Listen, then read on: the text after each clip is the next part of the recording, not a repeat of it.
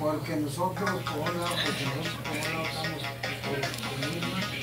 por lo que pasó con aquel baboso. Y luego ahora porque le hablamos, porque yo, yo le hablo a ella, le hablamos yo a y no le hablamos a la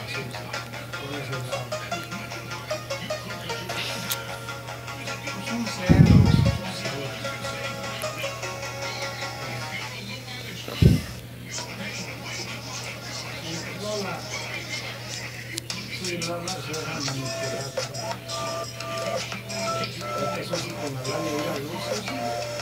desde que, yo desde que le metí mira a Susi, es igualita que igualita, la gorra, misma que a mí me que se parece que esa rutina.